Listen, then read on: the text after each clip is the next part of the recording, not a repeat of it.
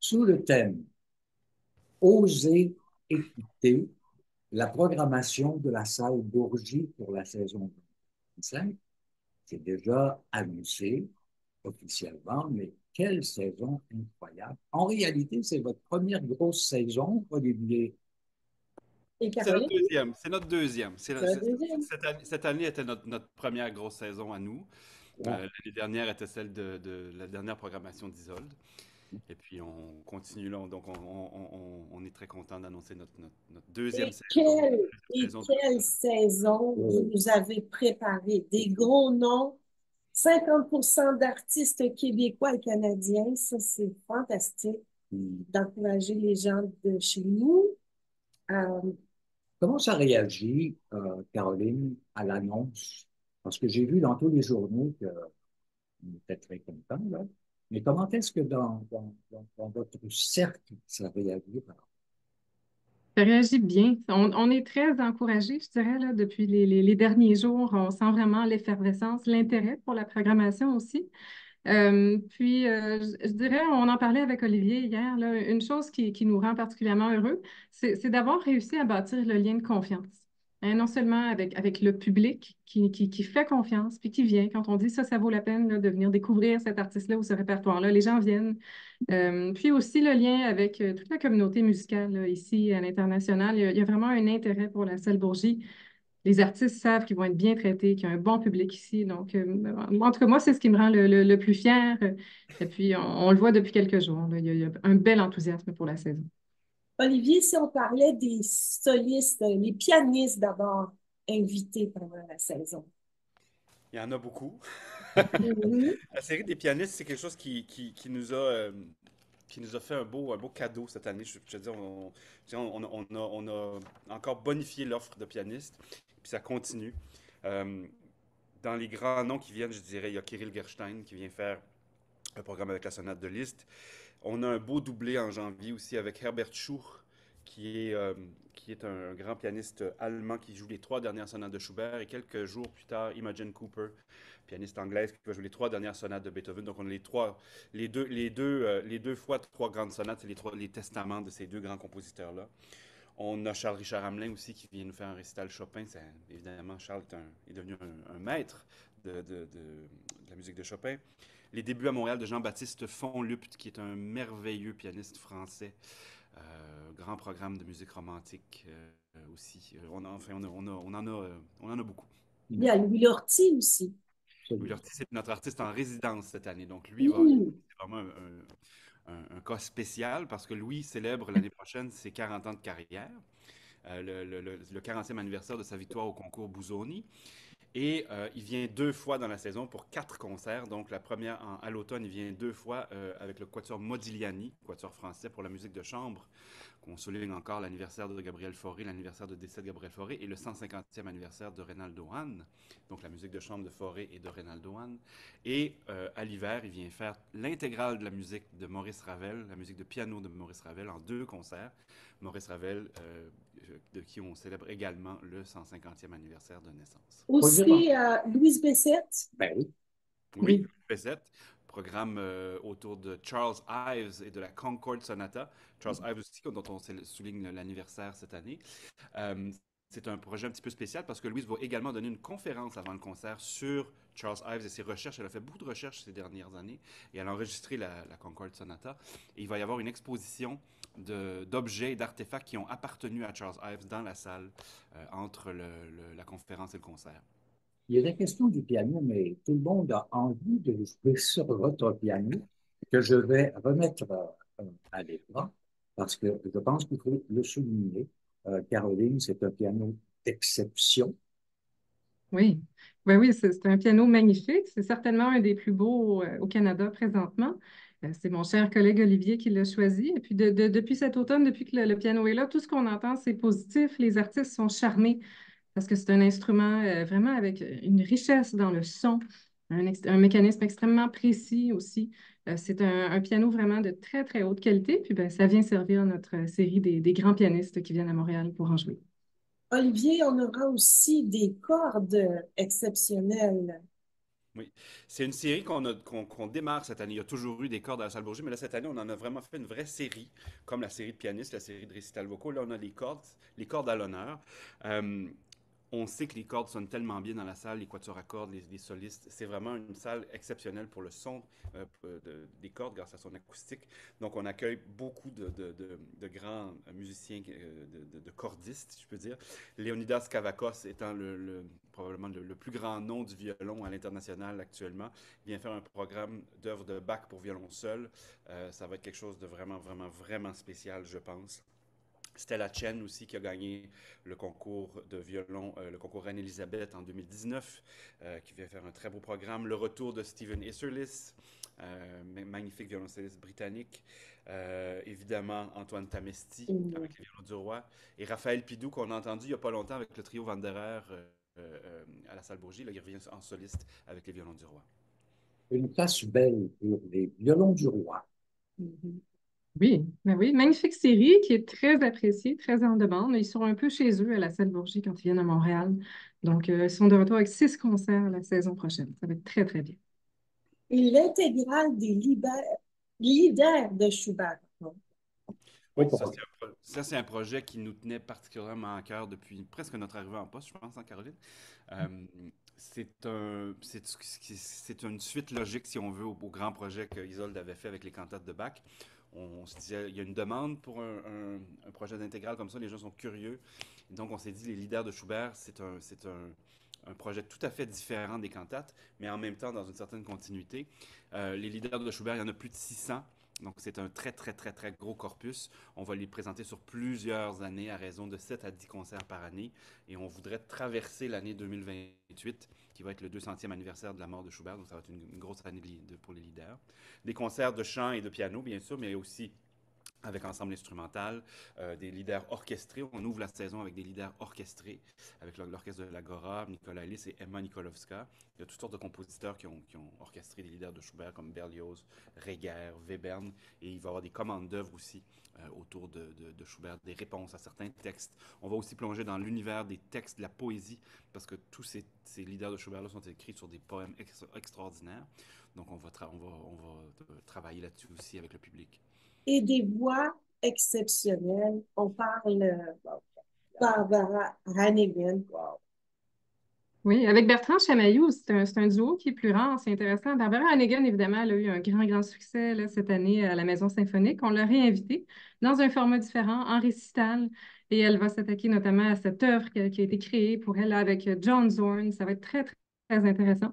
On attire aussi l'attention du public sur euh, la venue du, grand, grand chanteur allemand euh, Christian.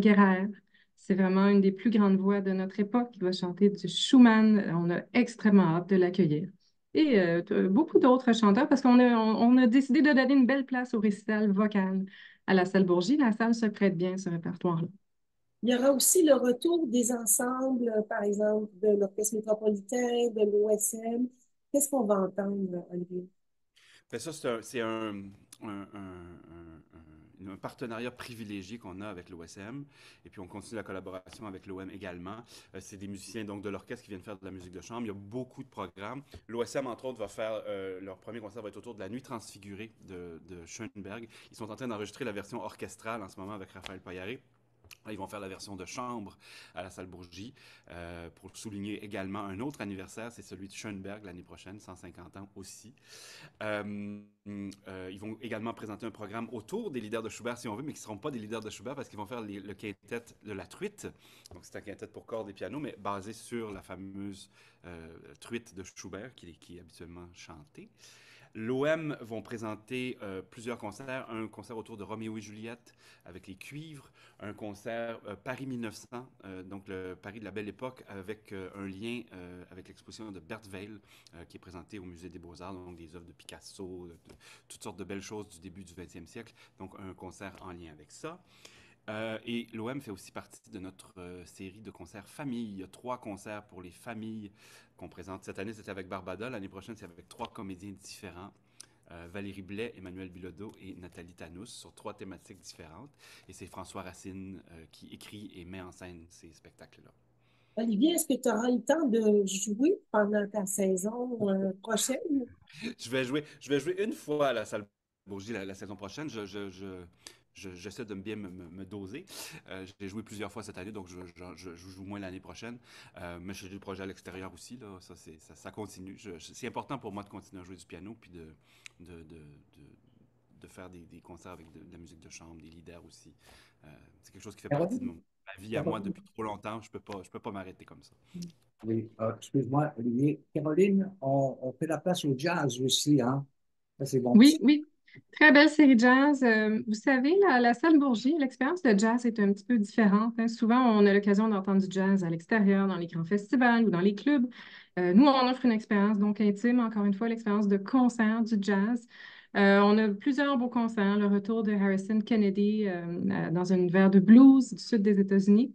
Moi, un concert qui m'intrigue beaucoup, c'est euh, le, trio du, grand Jasmine David Chesky qui va faire un mélange là, entre les grands standards classiques euh, du répertoire, donc classique, et l'univers du jazz. Ça va être très intéressant, mais on a toute une belle série là, qui couvre euh, plusieurs styles différents. J'attire aussi l'attention sur un projet un peu spécial. On va plonger aussi dans la musique de chambre de Chick Corea. Ça, on, c'est un peu une curiosité dans la saison. On est très, très, très intrigués par ce projet-là. Et le retour de Charlie Brown?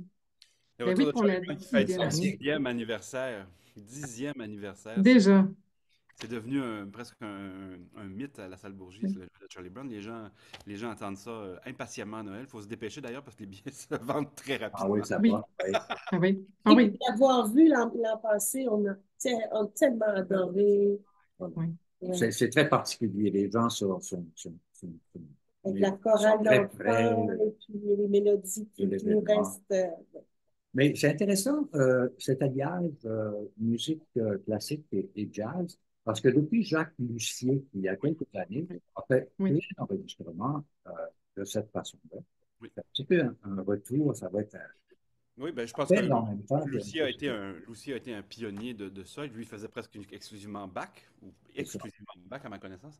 Et là, de, de, David Chesky, lui, s'attaque à Beethoven, Chopin, euh, toutes sortes de compositeurs classiques, mais qui fait vraiment avec des couleurs jazz. C'est très intéressant. C'est vraiment spécial. Ça s'appelle The Great European Songbook.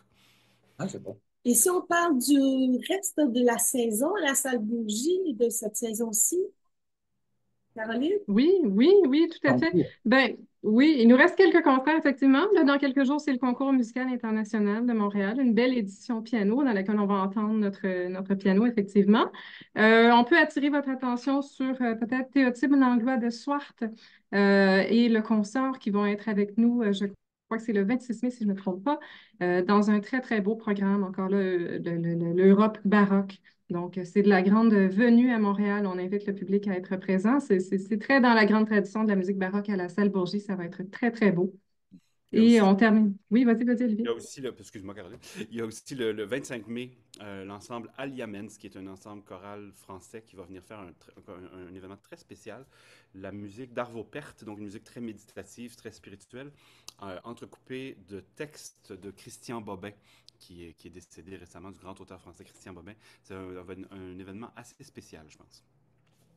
On peut parler, je pense, d'un mariage parfait entre vous.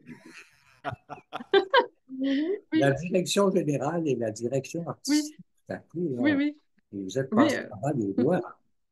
Ça, ça, va très, très bien. On n'est pas mariés tous les deux, mais on n'est pas loin, je dirais. C'est bon euh, non, non, c'est agréable. On a des, on a des, des, forces et des compétences complémentaires. Euh, mais ce qui, ce qui, est chouette, c'est qu'on a, on, se rejoint là, sur le, le, côté artistique. Donc, on, on, a un peu la même vision là, du développement de la salle. Alors, euh, c'est très agréable. Puis, on a toute une belle équipe aussi, là, avec des, des, des jeunes tout à fait passionnés dans l'équipe. Donc, euh, ça, ça va bien, la salle Bourgie. Et il y a aussi ça, bon, je ne parlerai pas de mariage dans ce cas-ci, mais c'est quand même une réalité. Les beaux-arts euh, de oui. Ben oui. C'est la même histoire. On est ben dans un créneau. Mais il n'y a pas de salle Bourgie sans le Musée des Beaux-Arts de Montréal. C'est très, très clair. Euh, on est une grande famille. Euh, puis c'est le mandat aussi d'Arte Musicale à la salle Bourgie, c'est de faire vivre la musique dans le, musée. Donc, on a encore une fois euh, toute une belle série l'an prochain de concerts en réponse à pas moins de quatre expositions du musée. Je ne sais pas si Olivier, veux-tu en dire quelques mots? Oui, ben il y a plusieurs concerts, en fait, qui sont allés avec les, expositions. Euh, en lien avec l'exposition d'art flamand qui, débute cet été, mais qui va se poursuivre à l'automne. On a deux concerts, donc Musica Pacifica, qui est un groupe de musique de chambre, de musique ancienne, pardon, américain, qui vient de Californie, un des meilleurs ensembles de musique ancienne américains. Euh, qui vient faire un programme de musique flamande, donc autour de, du, 17e siècle. Luc Beauséjour va donner un récital pour réinaugurer notre clavecin flamand, parce qu'on a un clavecin flamand dans notre collection d'instruments. On le fait restaurer cet été, justement, ça tombait bien. On, va donc euh, faire le concert d'inauguration du concert flamand, du clavecin flamand euh, en lien avec l'exposition flamande. Ensuite de ça, on a un groupe canadien qui s'appelle The McDades, musique trad, trad, canadienne en lien avec l'exposition sur Joyce Whelan, qui est une grande artiste canadienne euh, qui, est, qui, est, à l'honneur au musée euh, l'année prochaine. Il y a aussi euh, l'ensemble Octo Echo, ensemble de musique. qui a gagné un Juno récemment. Qui a gagné un Juno récemment et qui va venir faire un concert au mois de novembre en lien avec le, le, musée va redéployer complètement sa grande, grande, grande collection d'art inuit, qui est la plus grande au Canada. Et donc, on fait un concert pour souligner l'événement avec Octo Echo. Quelques mots sur les journées italiennes. Oui, je te laisse aller, Olivier. Je me laisse aller, bon. Euh, donc, ça, c'est au mois d'octobre. De mémoire, c'est 18, 19 et 20 octobre. C'est trois journées euh, thématiques sur l'Italie et les musiciens italiens et italiennes. Euh, donc, le premier, c'est le, le, 18 octobre, c'est le retour du grand pianiste Benedetto Lupo. Euh, pianiste, euh, merveilleux pianiste italien qui est, venu souvent à Montréal, qui fait un programme autour de la musique de Nino Rota, qui est le, compositeur de musique, de grande musique de film, comme Le Parrain, comme La Strada, mais qui a aussi euh, écrit de, très belles pages de musique pour piano solo. Le deuxième concert, c'est le Quartetto Nus, qui est un quatuor à cordes italien, le 19 octobre, qui vient rendre hommage à Puccini, Puccini, on le connaît parce qu'il a écrit beaucoup de musique d'opéra, évidemment, la Bohème, Turandot et, compagnie. Mais là, cette fois-ci, c'est sa musique de chambre qu'on connaît moins, qui est magnifique. C'est le centenaire de Puccini cette année. Et euh, le dernier jour, euh, on recule dans le temps au 14e siècle avec la Fonte Musica, qui est un groupe de musique du Moyen Âge euh, d'Italie et qui présente un programme de musique de la fin du Moyen Âge, début de la Renaissance. Et ils vont donner un cours de maître aussi sur ce répertoire-là le lendemain. Alors, moi, j'ai mis une grosse étoile dans votre cahier. Euh, pour concocter une saison qui donne envie à tout le monde de s'abonner chez vous, finalement. Ben, Parce merci peut aussi faire ça, oui. Ben oui, on peut s'abonner, c'est pas cher. Hein. Le, le, coût moyen du billet demeure très bas. C'est une valeur pour nous que ce soit accessible.